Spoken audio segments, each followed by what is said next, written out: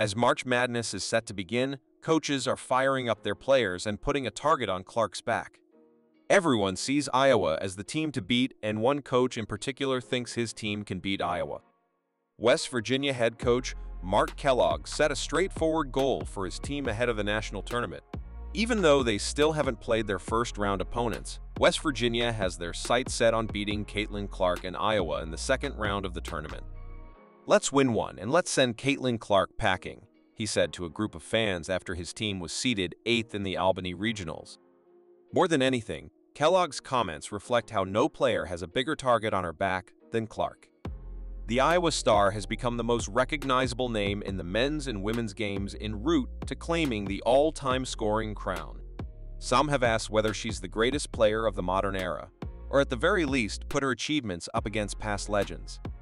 Naturally, there are a lot of competitors who would love the opportunity to trump Clark and Iowa in their quest for a national title.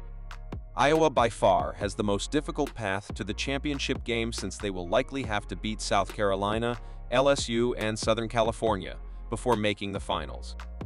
If West Virginia beats number 9 Princeton on Saturday, it will be on a collision course with Clark and number 1 Iowa in the second round.